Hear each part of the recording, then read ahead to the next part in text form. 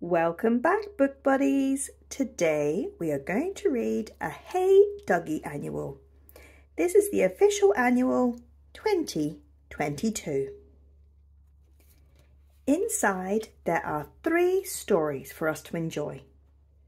The Hair Badge, the Tadpole Badge and the River Badge. Let's go! The hair Badge. Duggee is busy combing his hair. He looks in the mirror and smiles, looking good.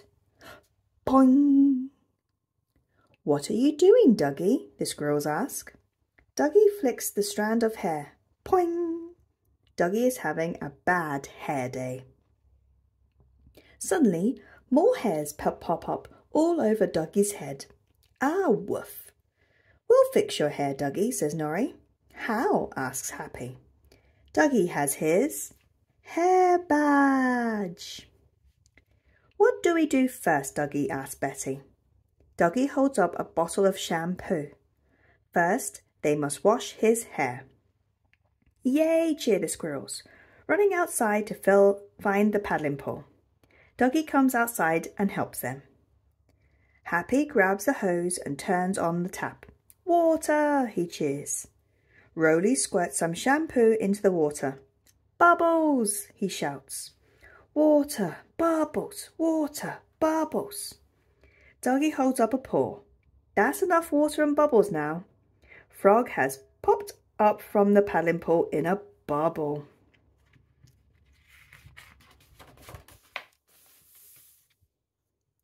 Wash time, Duggee, says Betty.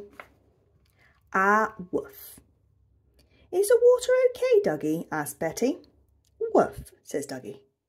Do you need more bubbles? asks Roly. Woof, says Duggee, shaking his head. Just relax, Duggee, says Norrie. Relax! Duggee starts to shampoo his hair, humming to himself. Duggee is washing his hair, says Norrie. Woof! Duggee has finished washing his hair. He stands up and shakes himself. Water splashes everywhere. Next, the squirrels must dry Duggee's hair. But how are they going to do that? asks Tag. I know, says Happy. He disappears and comes back with a giant fan. Yay, cheer the squirrels. Happy pushes the button to start the fan. Whoa. The fan spins faster and faster. Are you dry yet, Duggee? shouts Norrie. Woof, shouts Duggee, nodding. Good work, squirrels.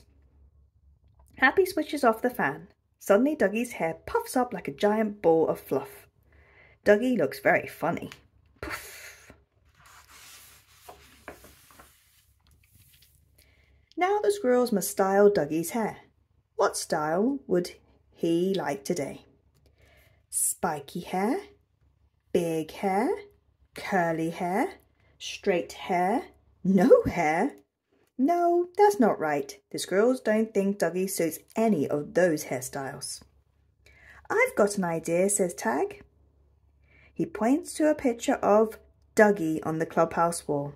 The squirrels whisper together and giggle. Finished. We like this one, say, say the squirrels. Woof, agrees Duggee. It suits you, Duggee. Hooray! Haven't the squirrels done well? Ah, woofs, says Duggee. They have all earned their hair badges. Now there's just time for one last thing before squirrels go home. A Duggee hug. Well, that was fun, wasn't it, Duggee? Suddenly Frog's bubble pops and he lands on Duggee's new hair. Plop. Ribbit. The Tadpole Badge. It's a lovely sunny morning and Duggee is outside. What are you doing, Duggee? the squirrels shout. Duggee is busy adding the finishing touches to his rock pool. Happy races towards the rock pool. Splash, splash, he cries. Woof! Duggee holds up his paws. Sorry, Happy, the rock pool isn't for splashing in. It's for all the animals to enjoy. Duck and her ducklings, and butterflies and horse. The rock pool is a place of calm, away from the hustle and bustle of everyday Ugh! What are those? cries Betty. The pond is full of wriggly raisins, Duggee, gasps Norrie. The wriggly raisins are actually babies, and they're called tadpoles. Are tadpoles baby worms, Duggee? asked Betty. Baby fish? Asks Happy. Baby snails? asks Norrie. Ah, woof. Duggee tells the squirrels that the tadpoles are baby frogs. They don't look like frog, says Tag. Or sound like frog, says Betty. Ah, woof, says Duggee. He has his tadpole badge. Duggee gives the squirrels a book so they can read all about, about tadpoles. Tadpoles don't look like frogs at first, but then they grow arms and legs, turn green, and hop out of the water as fully grown frogs. That's amazing, says Betty. Do you think they know? asks Happy. Let's tell them, says Tag. Betty tells the tadpoles what the squirrels have just found out.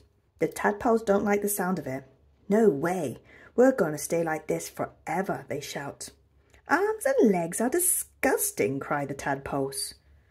They're, re they're, they're really useful, says Betty. He doesn't have any legs, shout the tadpoles, looking at Frog. Yes, he does, the squirrels tell them. Frog stands up and does a little jig. Boop, and there's his legs. Suddenly, one tadpole sprouts arms and legs. Then all the other tadpoles do too. Make it stop, they cry. We can't. It's nature, says Norrie. Next the tadpoles turn green and spotty. Not fair, they shout. Finally, the tadpoles turn into frogs. Pop! When they do, they start sounding like frog. Tag asks Betty. She looks at her book. Uh, right about now, she says. Ribbit. I'm never going to sound like Ribbit, one of the little frogs croak. All the little frogs start to ribbit. The frogs begin to leave the pond. Hey, where are you going? asked Tag. To study, to work in the city, to go travelling. Now, wow, they've grown up so fast, says Tag. Bye-bye, tadpoles, I mean frogs, calls Betty sadly. Hooray! Haven't the squirrels done well? Ah, woof, says Duggee. They have all earned their tadpole badges. Now there's just time for one last thing before the squirrels go home. Duggee hug. The River Badge. Dougie needs to deliver a very special parcel. He points to a spot on the map. At the end of that blue road, asked Tag. The blue road is actually a river. But you can't swim that far, says Betty. Duggee puts on his captain's hat and points to the badge on the front of it. Duggee's got his river badge. Pop!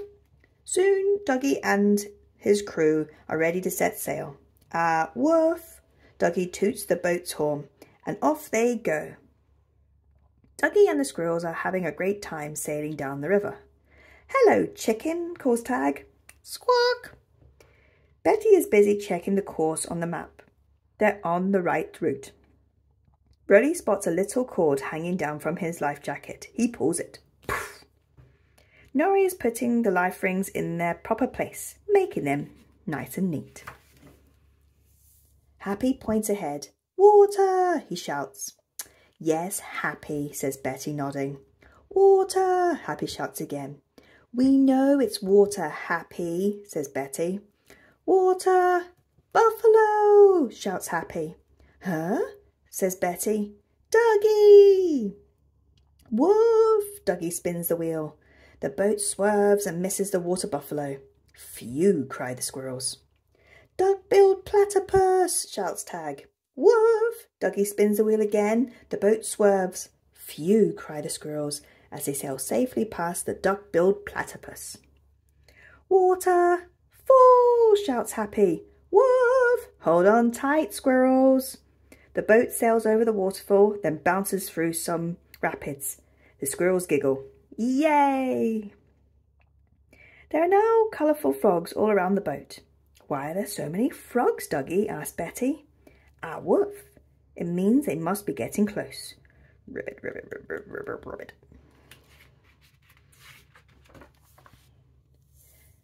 Duggee tells Roly that it's time to toot the boat's horn again. Pop! Suddenly a rabbit appears on the riverbank. Hey, man, you've brought the parcel, yeah? He, he asks. Duggee nods, nods. Woof! Watch out, man. It can be a bit slippy-dippy, the rabbit tells them. The squirrels carefully climb out of the boat. As Duggee climbs out, he slips and falls into the river. Woof! She's in there, man, the rabbit says, pointing into a temple. The squirrels follow Duggee inside. Hello, they call. They hear a voice in the darkness. Hello, sweetlings. It's Choo Choo. They've brought your parcel, Choo Choo, Roly tells her. Choo Choo rips open the parcel. Thank you. You can't have a cup of tea without a good biscuit. Yay, the squirrels cheer. Hooray, haven't the squirrels done well? Ah, woof, says Duggee. They have earned, all earned their river badges. Before they set sail for home, there's just time for one more thing. A Duggee hug.